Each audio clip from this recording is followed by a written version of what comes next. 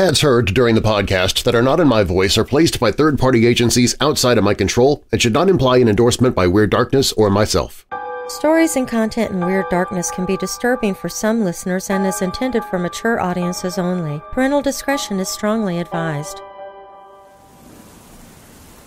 In early September 1944, a strange series of events occurred in the small central Illinois town of Mattoon.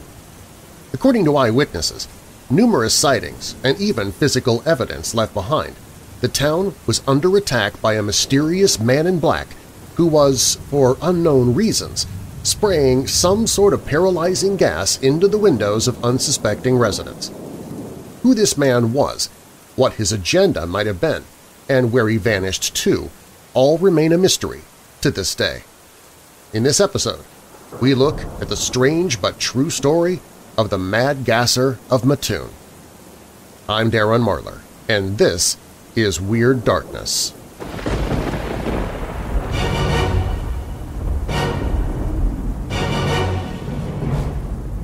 Welcome, Weirdos!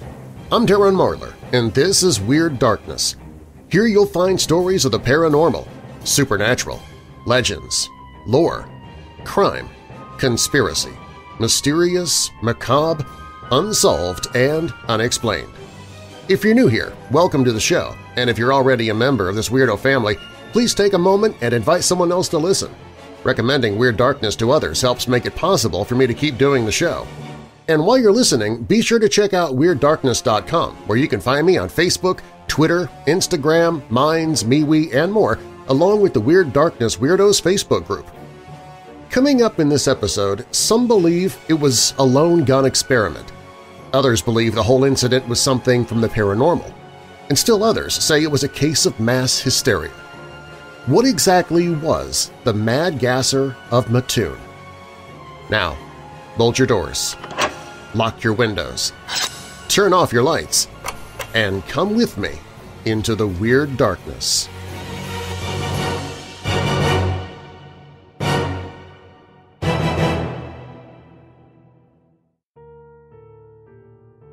There have been periods in history where seemingly bizarre events have unfolded and then simply ceased again just as quickly. And that is very much the case with a spate of apparent gas attacks that presented themselves to the residents of Mattoon in Illinois during the fall of 1944. Over a period of two weeks, the small town found itself under siege from apparent random attacks involving the unleashing of a powerful and seemingly unknown gas.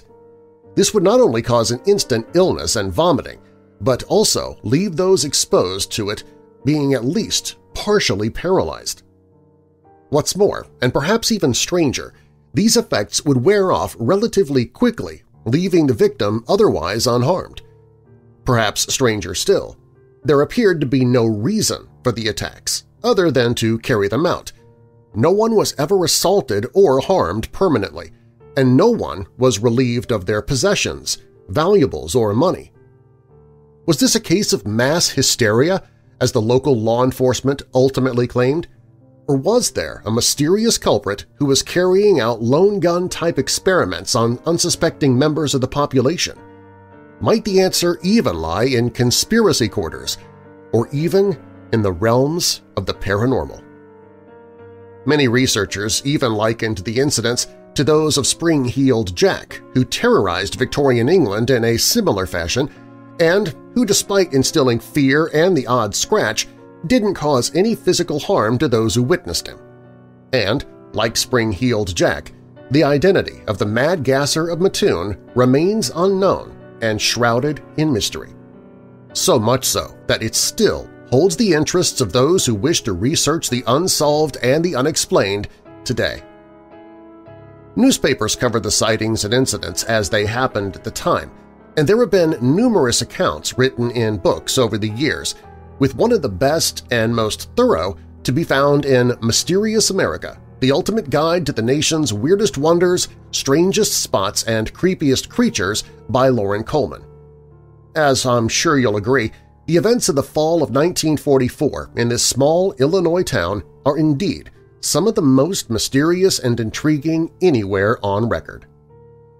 The first recorded incident unfolded on the morning of August 31, 1944, when a local man, Urban Raef, felt strangely unwell upon waking. In fact, according to newspaper reports, Raef claimed a strange odor was responsible for bringing him out of sleep, as well as the unwell feeling he had upon waking. He was soon experiencing vomiting alongside the general nauseous, unwell feeling and ultimately woke his wife for assistance. Not knowing what the problem was, she initially wondered if he might be suffering from gas poisoning from their gas oven. However, when she went to check if the appliance was working, as it should, she discovered that she herself was having difficulty moving, as if she was somehow paralyzed somewhat.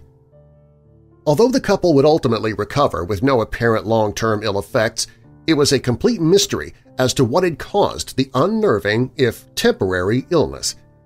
It was, though, just the first of such bizarre incidents that would unfold throughout the small Illinois town. Later that morning, from a completely different location, a mother awoke when she heard her daughter coughing badly in the other room. However, she too discovered that she had great difficulty moving when she went to go and see. Once more, both the mother and the daughter would feel better a short time later, but there was no explanation as to why they had been so unwell in the first place. There were further strange incidents that took place later that day. However, on the evening of the 1st of September, the first case that was widely reported in the media took place, and following the report of it, the eyes of the nation began to turn to focus on Mattoon, Illinois. At around 11 p.m. on the evening of the 1st of September, Mrs. Kearney was sleeping in her bedroom. Her young daughter Dorothy was asleep in the same room. However, she suddenly awoke due to what she called a sickening sweet odor that filled the room. To begin with, she believed all she was smelling was the flowers that were outside the window, and she attempted to go back to sleep. However, when the smell continued to increase in intensity, as well as the fact that she was beginning to lose feeling in her legs, she realized something strange was underway. It was at this point that panic set in, causing the young housewife to scream out for help. Her cries were heard by her sister, Mrs. Reddy, as well as several of her neighbors who rushed to her home to see what the matter was. After checking that she wasn't hurt, several of the neighbors searched outside the home for any sign of an intruder, but discovered nothing out of the ordinary. The police who arrived to investigate the incident a short later similarly made no discoveries. However, when Mrs. Kearney's husband Bert, who'd been at work as a taxi driver, returned home, he claimed to have seen a man who was crouching near one of the house's windows. Although he was not able to apprehend the man, he did obtain an accurate description, a description that would be given multiple times over the coming weeks. He would state that the person at the window was seemingly particularly tall and dressed in dark clothing with a tight-fitting cap. Despite the bizarre nature of the incident, which left the terrified housewife with a strange burning sensation to her mouth, lips, and throat, the police and the Kearneys themselves believed that someone had attempted to rob them. This was in part, they felt, due to them having a large amount of money in the house at the time. However, the events in Mattoon would continue, and they would become even stranger.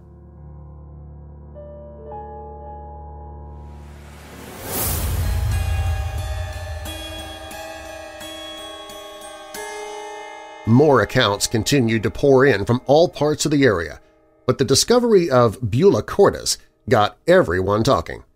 More of the mad gasser of Mattoon up next on Weird Darkness.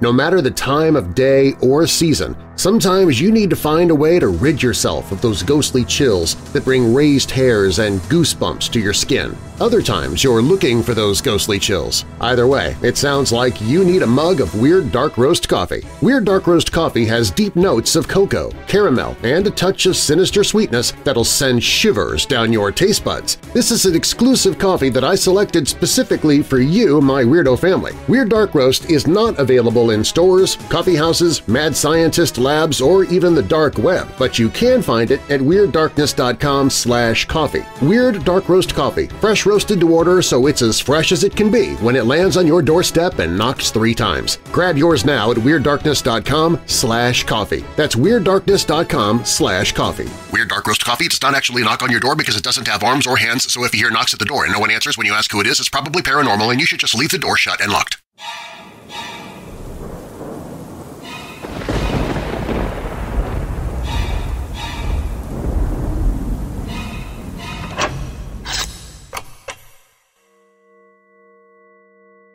There were several more similar accounts from various parts of the town reported to police over the coming days, all with extremely similar details.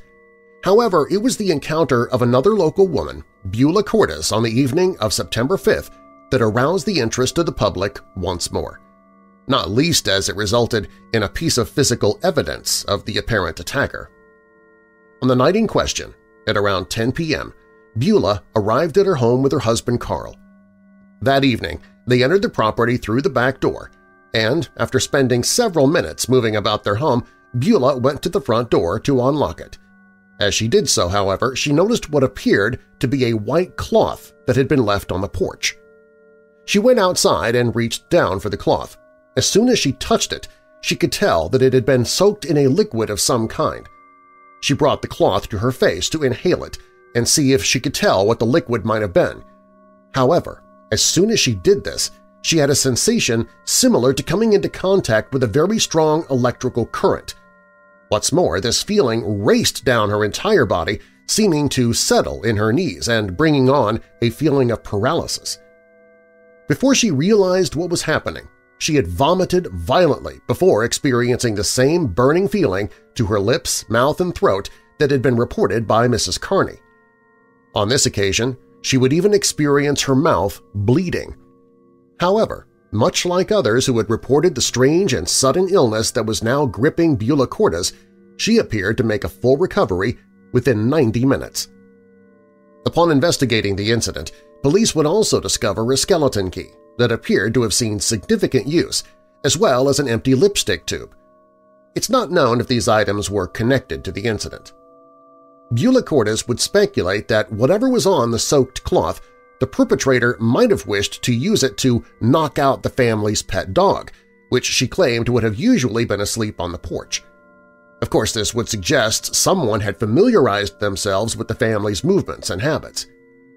Despite an attempt to find a rational explanation for the incident, it would appear that simple robbery was not the motivating factor. And the incidents would continue to be reported to the local police who by now were realizing that something strange and potentially monstrous was taking place in their otherwise sleepy, peaceful town. In fact, one of the next incidents occurred that same evening when Mrs. Burrell claimed she heard someone outside her window before the sweet, sickly odor of gas hit her nostrils. She too found she was partially paralyzed before making a full recovery. It was clear to local law enforcement that something had to be done before the town descended into panic and possibly vigilantism. Around half a dozen almost identical reports surfaced the next day alone, with one of the witnesses claiming they saw a tall man running from his home shortly after he noticed the strange, sickly smell. In another incident, the witness claiming to have seen a blue vapor-type substance appear along with a machine-like buzzing sound from outside the house. As the days went on, reports kept on coming into the police, and more and more of them claimed that footprints had been left outside their properties or that some physical damage had been done to windows or screens. According to local newspapers, who some have in retrospect accused of over-sensationalizing the incidents, many of the victims claimed they felt something akin to an electric shock which passes completely through the body, they would soon suffer from intense nausea before eventually becoming fully or partially paralyzed for an hour to an hour and a half. Once recovered, however, they would then experience an intense burning sensation to the mouth and throat. Police had several theories initially, the main one being that the attacks were being carried out by a lone individual with a basic knowledge of chemistry. There was even talk of pulling together a financial reward for the capture of this individual. Although the attacks appeared to quiet down on the 7th of September, there were still multiple reports from increasingly anxious citizens of strange men appearing to loiter around their properties. And ultimately, as that anxiety continued to bubble away, local residents began to organize themselves into makeshift patrol groups around the town, many of them armed.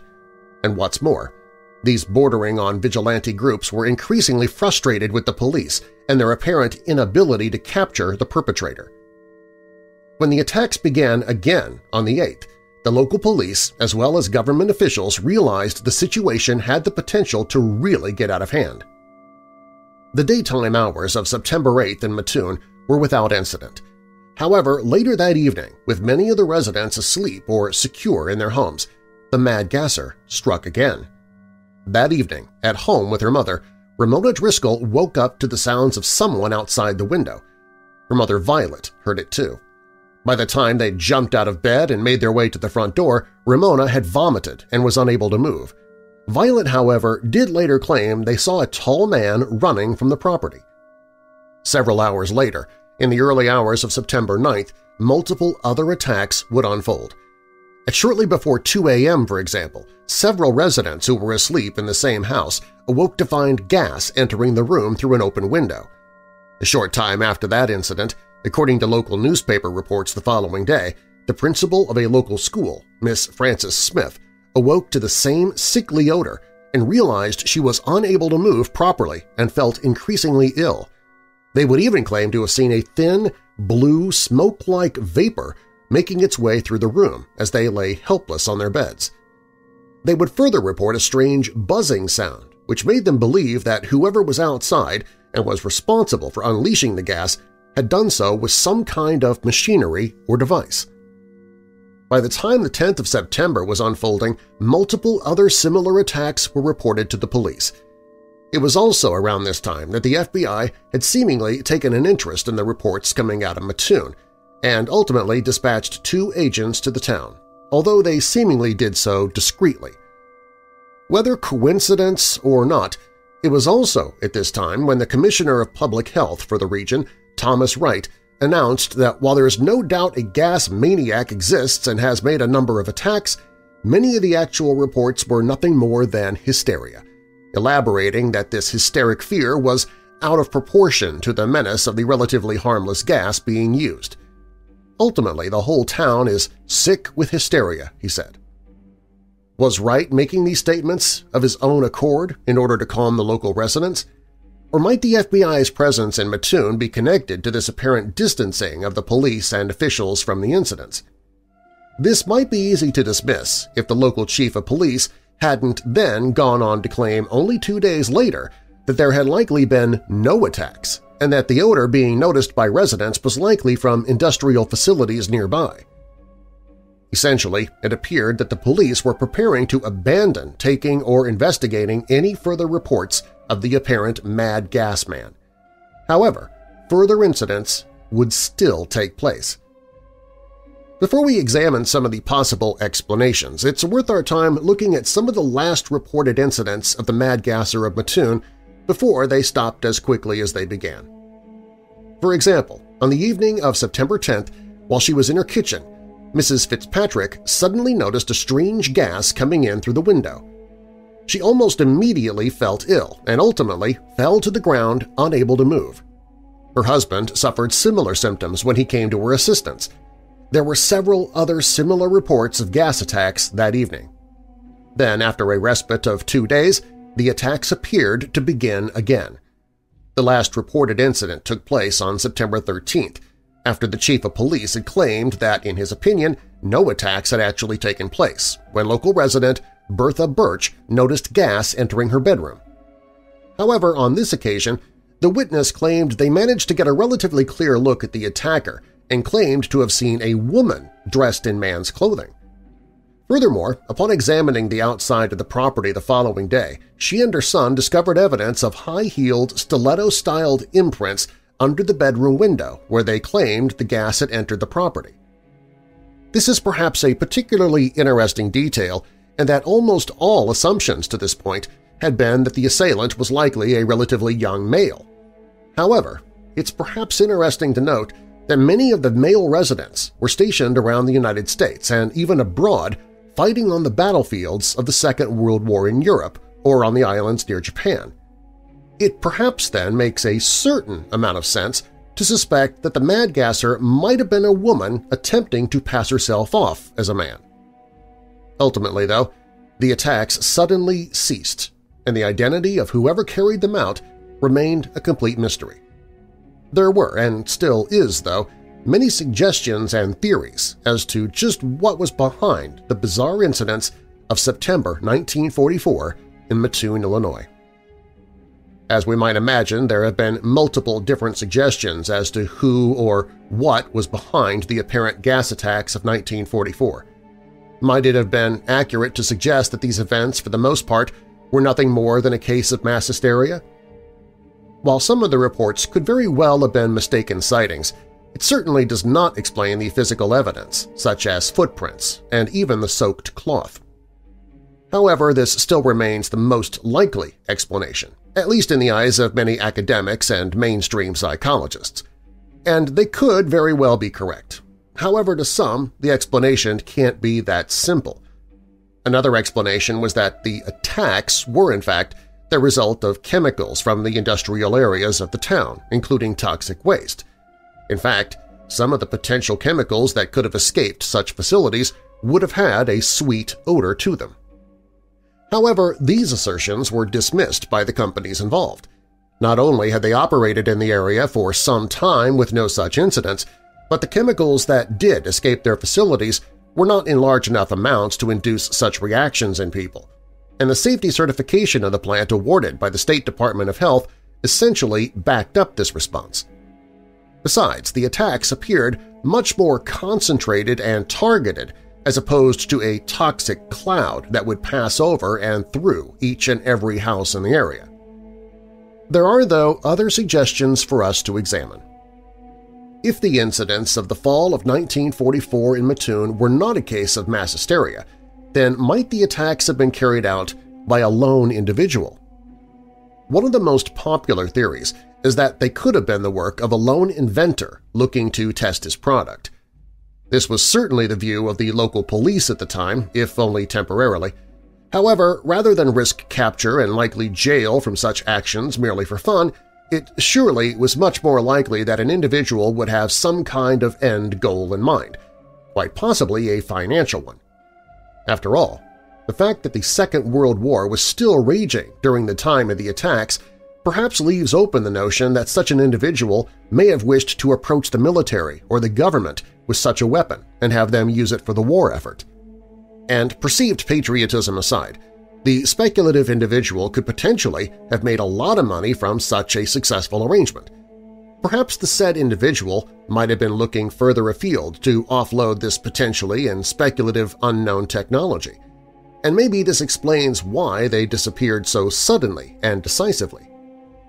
In fact, taking this speculation a stage further, might there have been a more direct military involvement, a clandestine involvement that they coordinated, supervised, and executed? That is where we will turn our attention next. Although this is purely speculation, might the mystery behind the gas attacks in Mattoon lie in some kind of covert military experiment?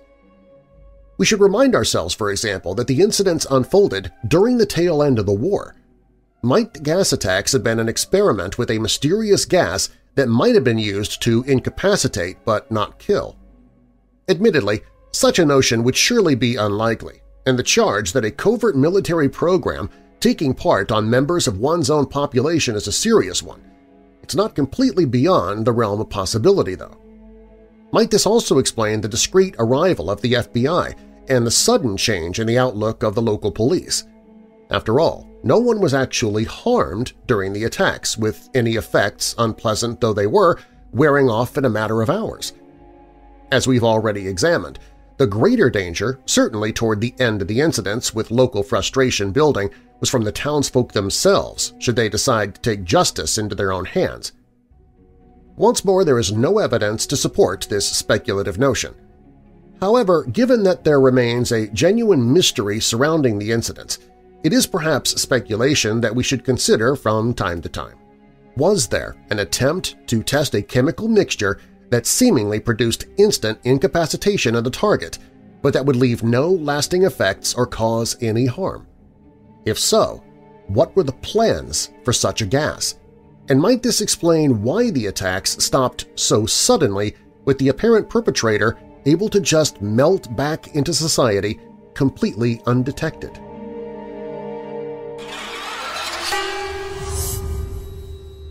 Of all the possible explanations, one of the strangest believed by most is that the Mad Gasser of Mattoon is something paranormal. We'll look at that possibility when Weird Darkness returns.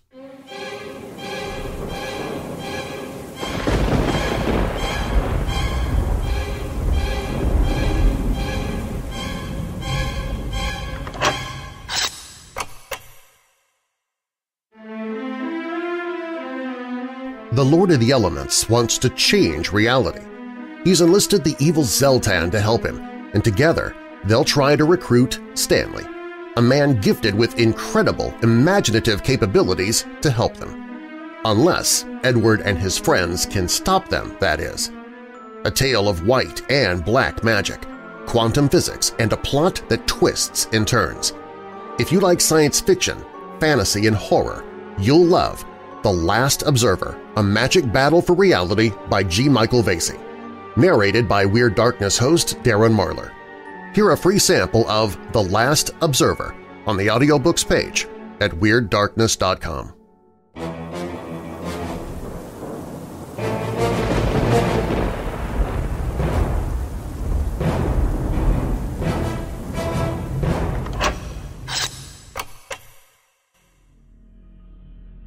We mentioned earlier that the events of September 1944 in Mattoon, Illinois are remarkably similar to those that surrounded the accounts of Spring-Heeled Jack, who seemingly terrorized residents of Victorian England in the late 1830s, with tentative sightings of the mystery attacker seen right into the early 20th century, although there is debate as to the authenticity and accuracy of some of the later sightings.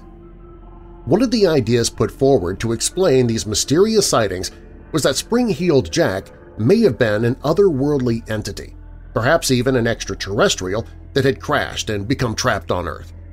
And while there certainly isn't anything concrete to make an extraterrestrial connection to the Mad Gasser incidents, the similarities of the two mysterious cases should at least alert us to the possibility, however unlikely.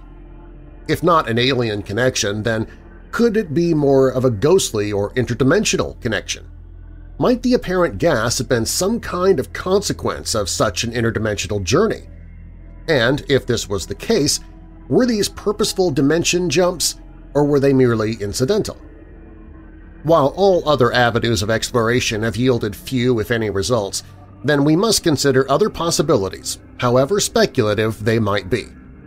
Generally speaking, though, and based on what we know of the Gasser case, it has to be said the possibility of a paranormal connection is remotely unlikely.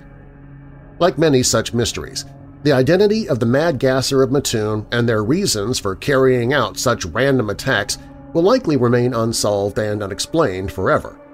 Even if an individual should come forward with claims that they were the person involved or that they knew more details behind the attacks, they would perhaps have a difficult time in persuading people that they were being truthful. Was this nothing more than mass hysteria? It is certainly possible that such a feeling of collective anxiety about a deranged individual spraying people's homes with an unknown and quick-working gas would result in sightings that were mistaken. However, the claimed physical consequences of intense illness and partial paralysis are surely something that mass hysteria can't explain in a fully satisfactory way. Was there a military movement? Either directly through the coordination of the attacks or indirectly with the suppression of the reports? Or might they have been the work of one lone individual for reasons known only to them? Whatever might have been behind the attacks and why they happened is truly one of the most perplexing mysteries of all time. Of that there is surely no doubt, especially if similar events ever begin unfolding in our contemporary era. Whether or not there is a potential connection to a very similar surge of gas attacks in Virginia that began just over a decade earlier, in December 1933, and continuing into the opening weeks of 1934, the incidents cannot at all be dismissed when being examined alongside each other. Not only were they similar in terms of how they unfolded, but details such as the sickly sweet odor and the discovery of ladies' high-heeled shoes discovered at the scene of many of the apparent victims make the events in Virginia a decade previously impossible to ignore. Outside of the surely remote possibility of a delayed copycat case, the two almost identical wave of attacks stand out like the sorest of sore thumbs, and as such need to be addressed. Was this a case of a top-secret government experiment? Might it have been the work of a lone person who simply packed up their bizarre experiments and then reignited them a decade later in another sleepy and quiet part of the United States? While the motive and speculation end goal in the Virginia attacks is seemingly as unclear as it is in the Mattoon attacks, the similarities cannot be ignored, and between them, being so relatively close together with regards to the timeline of history as they are, all the suggestions appear to be that there is an important secret to be unveiled in relation to the two mysterious periods in American history. What follows is largely based on recovered newspaper reports and contemporary Internet accounts of some of the strangest and most disturbing events to have reared its head. What these events might mean for both American and world history is something that remains very much open to debate today, almost a century after the events took place. The first recorded incident unfolded at around 10 p.m. on December 22, 1933 in the town of Haymakertown. That evening, Cal Huffman was at home with his family when his wife suddenly began to feel intensely unwell while also claiming she could smell a strange odor. The bizarre odor began to decrease in intensity, and with their children already in bed, Mrs. Huffman decided to turn in for the night in the hope of feeling better in the morning. Cal, on the other hand, decided to remain downstairs, suspecting that someone had unleashed the unpleasant substance into their home as a prank, hoping they would return so he could apprehend them. For 30 minutes, nothing out of the ordinary occurred. That was until a wave of the strange-smelling gas seemingly overtook the room once more. Cal immediately made his way outside and straight to the home of his landlord, Mr. Henderson, so that he could use his telephone to report the incidents to the police. Officer Lemon would respond to the report, eventually arriving at the Huffman's home shortly before midnight. He'd take further details but was unable to find anything suspicious anywhere outside their house. Thinking that the attacker, whoever it was, would certainly have left following the police presence at the property, the family returned to their beds. However, the evening's strange events were not over yet. At around 1 a.m., the strange and seemingly toxic gas swept through the Huffman house once more, this time, though, the effect was much worse. So much so that one of the Huffman's children, Alice, began to have trouble breathing. A doctor was called to attend to the property, Dr. Driver, who would even have to use artificial respiration in order to bring her back around. Despite this, however, she would make a full recovery within a matter of hours.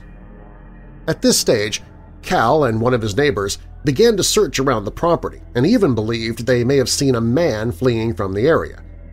Even stranger, and especially if we recall the last gas attack in Mattoon on September 13, 1944, they discovered what appeared to be the marking of ladies' high-heeled or stiletto shoes.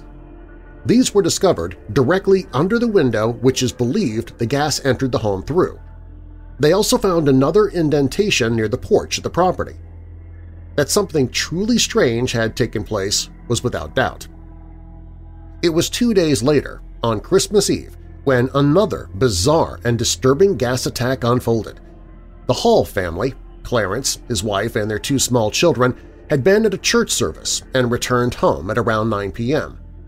However, they noticed a strange smell upon entering the property, which within five minutes was so strong that Clarence attempted to locate the source of the odor. He went from room to room, but returned to the rest of the family a short time later clearly unwell and struggling to maintain his balance. His wife promptly assisted her husband in leaving the house and the apparent toxic odor so that he could breathe the fresh air of the outside environment. In a relatively short time, the effects of the gas had appeared to wear off. The Halls would report the incident to the police, who would send officers to the property a short time later. A doctor who also attended the property would note that there was a sweet taste to the still lingering aroma, something that was reported widely in the Mattoon gas attacks a decade later. When officers inspected the property, they discovered a lone nail had been removed from one of the windows, leading them to suspect that this had been done by whoever was behind the attacks in order to fill the property with the mysterious gas. Perhaps even more significant, a neighbor of the Halls would offer that he'd witnessed a strange, dark figure seemingly with a flashlight near the Hall's property shortly before they arrived home. Following the incident, while his family left the neighborhood in order to stay with friends, Clarence and several neighbors patrolled the streets looking for anyone who might have been behind the attacks. Their search, however, would yield no results.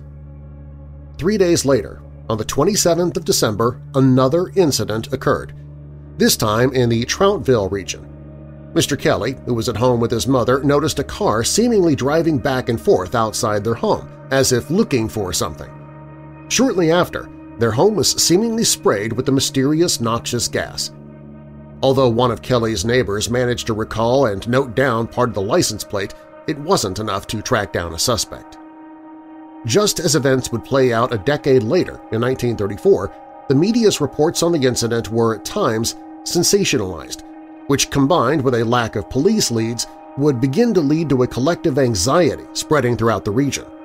This would ultimately lead to local residents patrolling the streets on the lookout for the assailant, and they would do so armed. Eventually, a reward for the capture of the culprit was put up, and the attacks even appeared to have ceased as 1933 morphed into 1934. However, a little over a week into the new year, they would begin again. On the evening of January 10, 1934, back in the Haymakertown region, Homer Hylton would become the latest victim of the mystery gas man of Virginia. On the night in question, at a little after 10 p.m., the Hyltons' daughter, who was staying with them while her husband was working out of town, awoke to see her baby. As she did so, however, she heard the sound of people talking outside the property, followed by what appeared to be somebody tampering with the window. She remained where she was, listening for any sounds that might indicate what was happening. However, before she knew what was happening, the room filled with a sickly odor which caused a feeling of numbness to run through her.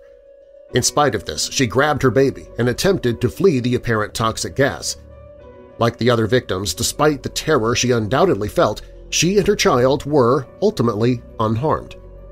However, another incident would unfold on the same night shortly after when a local resident named Mr. Kinsey suffered a similar attack with almost identical temporary consequences. Once more, the attacks appeared to die down again for several days, but they would begin again on the evening of January 16th. This time, Mr. Duval noticed the strange substance, which had now been widely publicized through the local media, at his home later one evening. This time, as Duval gave chase to a dark figure he noticed near his home, he witnessed the person step into a parked car which then sped away from the neighborhood. Even more intriguing, when police examined the area near Duval's home, they once more discovered an imprint which was suggestive of a lady's high-heeled stiletto shoe close to where Duval claimed the car had been parked waiting for the mystery figure. Three nights later, on January 19th, another attack took place when Mrs. Campbell was sitting near one of her windows and she noticed a strange gas entering the property. Within moments, she would begin feeling extremely unwell. Two nights later, on the 21st of January, yet another incident occurred. On this occasion, at a little after 9 p.m., Mr. and Mrs. Howard Crawford returned home following an event spent with friends. As they were settling down for the evening, Howard suddenly noticed the presence of fumes and would become intensely ill within moments.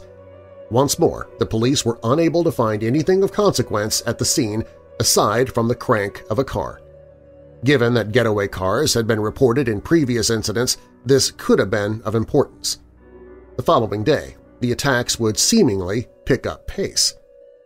On the evening of January 22nd, over a distance of approximately two miles and within the time frame of 60 minutes, three separate houses were attacked. All three of the occupants reported almost identical symptoms. One of them, however, did manage to quickly alert the police, which led to the chase of a dark, shadowy figure that disappeared into the woodlands near the respective property.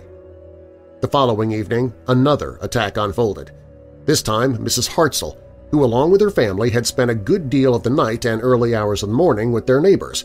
Returning to their home at approximately 4.30 a.m., when they entered the property, however, they discovered it was seemingly full of a strange gas. What was particularly strange about this apparent attack was that a pile of wood was discovered against the inside of the front door. According to some researchers, this was likely to prevent the family from escaping the fumes, and if that was the mindset of the attacker, then they must have believed that they were at home when they dispersed the fumes. Not to mention the fact that they must also have been physically inside the Hartzell home at some stage to stack the wood in the first place. By now, the collective anxiety of the townsfolk was running into overdrive. It appeared, much like it would in Mattoon a decade later, as if no one was safe from this unknown perpetrator. The armed patrols of the local residents picked up intensity. Some families even decided to stay with friends or relatives in an attempt to shield themselves from becoming the next victim. The local police were also now becoming more concerned, if only privately and behind closed doors. It's the belief of many researchers that, to begin with, they believed that the attacks were nothing more than the relatively harmless pranks of bored youngsters. However, with the attacks picking up intensity and the distinct lack of clues or leads, they were now beginning to think that there really was a dangerous menace lurking around the state of Virginia. Following a day of apparent inactivity on the Gassers' part, the next potential incident unfolded on the evening of the 25th of January. However, on this particular occasion, it appeared that their attempts failed. Chester Snyder was at home on the night in question when around 9 p.m. their dog suddenly became extremely agitated and began barking. Snyder, who had been in bed, jumped to attention, grabbed his loaded gun, and proceeded to make his way to his front door. Upon going outside, he saw a figure that appeared to be crossing a ditch that was a matter of yards from his property. Already hyper-alert to the bizarre goings-on of recent weeks in the town, he didn't hesitate to raise his weapon and fire. The shot, though, appeared to have been wide of the mark. Needing to return inside for more ammunition, by the time he'd returned to his yard, the dark figure had vanished. He'd still make a report to the police, though. When officers arrived to take an official statement and to examine the surrounding area of the property, they would make some telling discoveries. For example, there were distinct footprints that led from the road to the ditch where Snyder had shot at the witness. Perhaps even more alarming were the tracks that led from the ditch to the house, but then stopped again, as if the person who made them had abandoned an approach to the house. What's more, Judging from the state of the ground, whoever had been there had paused beneath one of the trees to maintain a vigil of sorts of the Snyder property before the family's dog had become alert to their presence. Of even more interest, when those who had spent the evening at the Snyder home earlier that evening were interviewed, they all recalled seeing a strange man down the road from the house as they left. Whether or not this was the person who Snyder shot at, and if they were indeed the gas attacker remains open to debate. Following another few days' respite, the attacks would continue. On the evening of January 28th, another attack commenced, and this time it was seemingly successful. And not only that, but the incident would suggest more than one attacker. On the night in question, Ed Stanley, his wife, and three other adult friends were in the property when they suddenly noticed the presence of a strange gas-like odor. While each of them began to feel unwell, they managed to make their way outside the property. When they did so, they claimed to have seen four dark figures running away from the home. They were, according to witnesses, heading toward the Blue Ridge Mountains. Stanley immediately rushed back inside to retrieve his shotgun. However, by the time he had done so, none of the figures were in sight. He would, though, claim he'd clearly hear them speaking in the surrounding woodland. According to reports, two nights later, on the 30th of January, Ed Stanley's home was approached again with an apparent attack planned. This time, however, alert to the possibility of such events, Stanley made his way outside as soon as he heard activity outside his home. It's unclear what he witnessed or what action was taken as newspaper reports seemingly omit these details. It must be presumed that he interrupted the attacker or attackers. following two more days of no activity, what's regarded as the last, at least officially, gas attack of Virginia took place.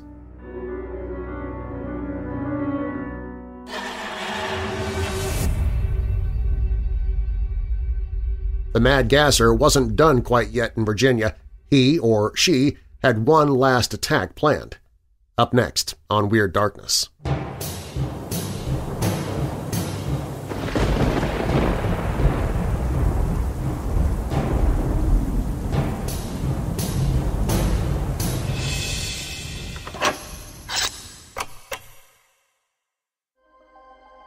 Are you a member of the Darkness Syndicate?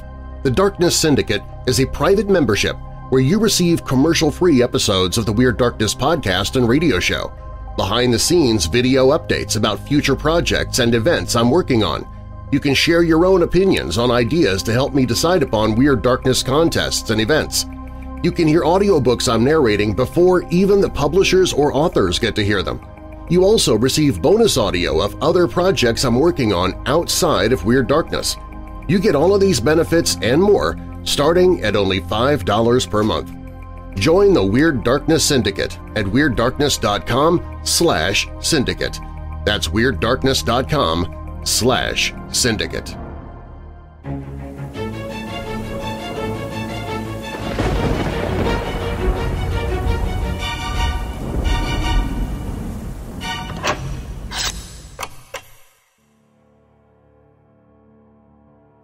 On the evening of February 3rd, what is largely regarded as the last gas attack of Virginia unfolded. That evening, Mr. and Mrs. Skaggs, along with five adult friends, all became decisively ill following the apparent unleashing of the sickly sweet substance in the Skaggs home. In fact, upon investigating the incident, Sheriff Williamson would state to the local press that no amount of imagination in the world would make people as ill as the Skaggs and their guests were. In short, unlike the police force of Mattoon, who very much appeared to distance themselves from the gas attacks in their town a decade later, Williamson was very much stating that something disturbing and out of the ordinary had taken place that evening, and had been so across the region for almost six weeks. What's more, on this occasion, there appeared to be hallucinogenic effects on at least one of the people present in the Skaggs' home that evening, the Skaggs' nephew apparently began to believe he was trapped in the house shortly after the gas was noticed. Was this a case of panic, or had something a lot more reactive have been introduced into the unknown mixture?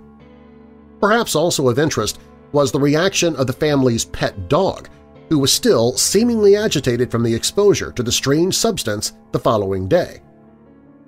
Although reports of similar attacks would persist for another week, the interest in the events seemed to suddenly decline. Between them, the police and the local media, interestingly or not, appeared to suddenly distance themselves from the strange goings-on of the last two months. Although the February 3rd attack on the Skaggs home is considered the last official gas attack of the Virginia wave, other incidents occurred afterward that are very likely the work of the same person or group. Perhaps the very last case would be that of Mr. Schaefer, who claimed his property came under attack of the mystery gasser on the evening of February 9th. After hearing suspicious activity outside his home late in the evening, Mr. Schaefer went outside to investigate. Upon seeing signs of disturbed snow outside his property, Mr. Schaefer would pick up some of the snow that was outside and found that it had a sickly sweet aroma to it, much like the aroma that had been reported in many of the previous encounters. When the substance was analyzed, several of the chemicals were common in insecticide sprays. When local police investigated the report, they would discover footprints in the snow that led from the porch where the sample was taken from that led to a barn on the property. However, the footprints would mysteriously vanish upon reaching the barn. This is perhaps the only paranormal connection to the Virginia gas attacks. There was another discovery made by police, however. Like in many of the other encounters, shoe prints suggestive of a woman's high-heeled shoe were discovered leading from the yard to the road that ran alongside the property. There were several more sporadic attacks reported, but for all intents and purposes, the gas attacks in Virginia suddenly stopped. However, there were still many unanswered questions. The details of the gas attacks in Virginia between late 1933 and early 1934 surely contain too many similar details to not be potentially connected. But what might those connections be? And what might they mean? Might the same person or persons that were responsible for the bizarre and unnerving gas attacks in Virginia have suddenly revived their morose experiment a decade later in the American Midwest of Mattoon, Illinois? And if so, what were the reasons behind a decade of delays, not to mention the reason for the attacks in the first place? It's perhaps also interesting to note that following the attacks there was a notion put forward, and to varying degrees accepted, that the attacks were nothing more than faulty chimney flues and essentially mass hysteria. As we might imagine, though, many people, especially those who had experienced them directly or been involved in the investigations of them, found this explanation hard to swallow, if not preposterous. There were simply too many factors that defied such explanations as mass hysteria or even faulty chimney flues. For example, the attacks all took place at approximately the same time, usually between 9 and 10 p.m., but sometimes as late as midnight. Never before this time, though, and never after. And of course, we cannot dismiss the sightings of the fleeing figure, or at least on one occasion, multiple figures from many of the respective properties. There are surely then too many coincidences to not at least contemplate a connection between the cases. Perhaps one individual in 1944 read about the exploits of someone in Virginia a decade earlier and simply emulated them. It's certainly not beyond the realms of possibility. However, that explanation perhaps feels a little too simplistic. In short, the attacks in Virginia in 1933 and early 1934 only make both themselves and the attacks in Mattoon in 1944 all the more intriguing and perplexing.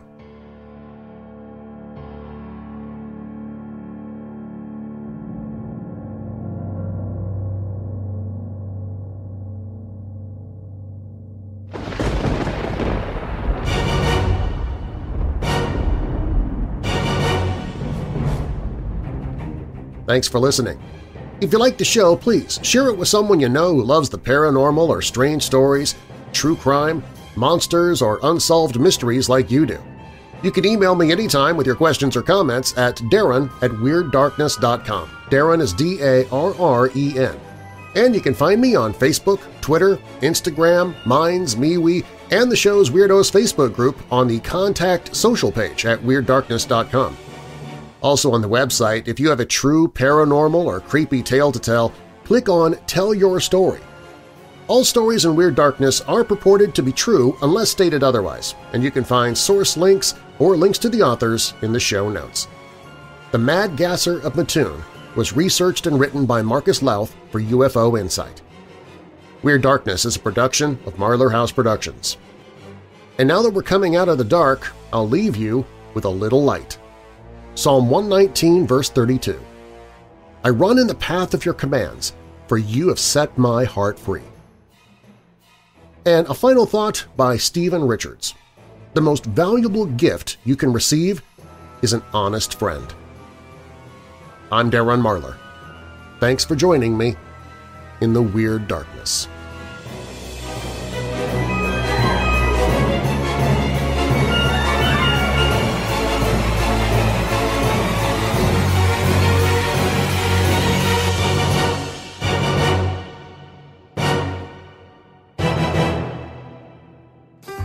Hey Weirdos! Our next Weirdo Watch Party is coming up fast. It's Friday, February 9th. The gruesome twosome of Graveyard Cinema, Horrible Henry and Mad Marty are presenting 1950's Quicksand, starring Mickey Rooney and Peter Lorre. I suppose you know what you're getting into. This isn't a car theft.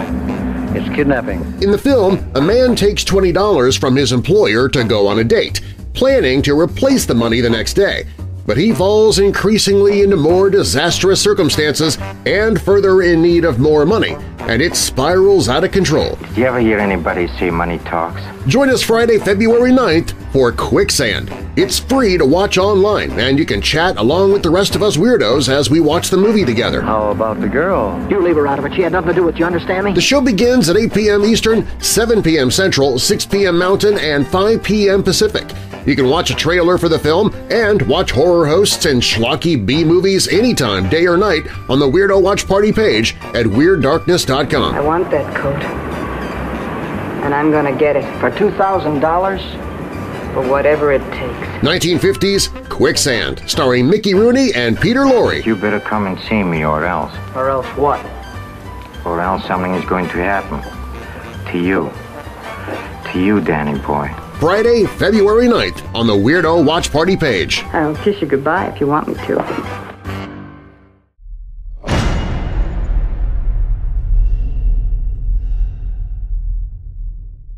Hey Weirdos! Be sure to click the like button and subscribe to this channel and click the notification bell so you don't miss future videos. I post videos seven days a week. And while you're at it, spread the darkness by sharing this video with someone you know who loves all things strange and macabre. If you want to listen to the podcast, you can find it at WeirdDarkness.com slash listen.